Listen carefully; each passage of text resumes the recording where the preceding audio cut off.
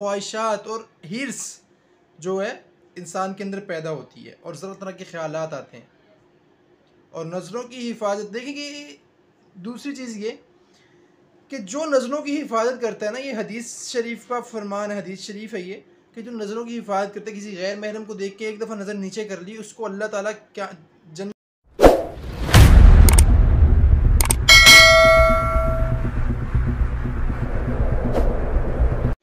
अस्सलाम वालेकुम उम्मीद है आप सब खैर खैरियत से होंगे। आज का जो हमारा टॉपिक है, वो नज़रों की हिफाजत करने को वाले को अल्लाह ताला क्या इनाम देते हैं उसकी क्या क्या खूबियाँ और क्या क्या इनामात मिलते हैं उसको, और क्या क्या हासिल होता है अल्लाह की तरफ़ से। और नज़रों की हिफाजत करने वाले पर क्या क्या खूबियाँ के अंदर, नज़रों की जो हिफाजत करता है, उसके अंदर क्या क्या खूबियाँ आती हैं, इन सब के बारे में ज़िक्र करेंगे।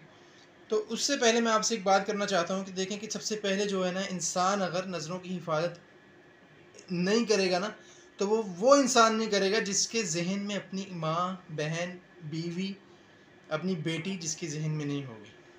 वो नज़रों की हिफाजत नहीं करेगा। और अगर हमारे जहन में हर वक्त हमारी माँ, हर वक्त तो नहीं, मिसाल के तौर पे जब हम किसी को देखने लगें, किसी गैर महरम गैर महरम को देखने लगें, उस वक्त हमारे जहन में माँ, बहन, बीवी या बच्ची आए ना अपनी तो फिर हम नज़रों की हिफाजत करेंगे। अपनी नज़रों की हिफाजत फिर हम करेंगे। और दूसरी चीज़ ये कि देखें कि नज़रों की हिफाजत बिल्कुल आम सी चीज़ है। और अगर हम किसी को देखते हैं तो दिल में ख्वाहिशात और हिरस जो है, इंसान के अंदर पैदा होती है और ज़रा तरह के ख्याल आते हैं। और नज़रों की हिफाजत, देखें कि दूसरी चीज़ ये कि जो नज़रों की हिफाजत करता है ना, ये हदीस शरीफ का फरमान है, हदीस शरीफ है ये कि जो नज़रों की हिफाजत करता है, किसी गैर महरम को देख के एक दफ़ा नज़र नीचे कर ली, उसको अल्लाह ताला क्या, जन्नत में एक ऐसी हूर देंगे जो किसी फूल या अनार में से अल्लाह कमी पेशी माफ़ फरमाए, निकलेगी। और जब जन्नती के सामने जिसने नज़रों की हिफाजत की होगी, एक दफ़ा नज़र की हिफाजत करने वाले को ये मिलेगा, नज़र हिफाजत की होगी तो वो जब उसको देखेगा तो उसकी आँखें बंद होंगी। तो वो अल्लाह से कहेगा, या अल्लाह, ये तो नबीना इसको नज़र नहीं आता। अल्लाह कहेंगे, इसको छेड़। और जब उसको छेड़ेगा तो वो चालीस साल सिर्फ़ और सिर्फ़ उसको देखता ही रहेगा। ये हदीस का फरमान है। और अलिया इकराम का अकवाल है उनके वली के वलियों के बहुत के अकवाल हैं, कि जो नज़रों की हिफाजत करता है ना तो अल्लाह उसको मौत से पहले पहले अहल कश्फ बना देता है। अहल कश्फ किसे कहते हैं? जो दूसरों की चीज़ें समझ सके, दूसरों के गम समझ सके, दूसरों के गुनाह धुलते हुए देख सके, लोगों का पता चले उसे, और जिस तरह है, जितना हम नज़रों की हिफाजत करेंगे, उतना ही हमारा दिल पाक साफ़ होता रहेगा। और जितना दिल साफ़ और पाक होता है, अल्लाह के इनामात, अल्लाह की उस पर रहमतें, बरकतें उतने ही उतरती रहती हैं, उतना ही इल्म अल्लाह उसके अंदर डालता रहता है, उसके दिल के अंदर, उतना ही इल्म अल्लाह डालता रहता है।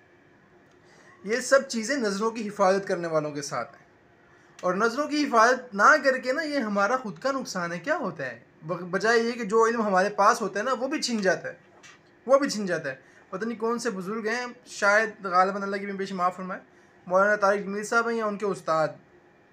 या कोई और बुज़ुर्ग हैं, उन्होंने कहा कि मैंने सिर्फ़ एक दफ़ा बद नज़री होगी, मुझसे पता नहीं कितनी हदीसें भूल गया। पता नहीं कितनी हदीसें ही भूल गया मैं।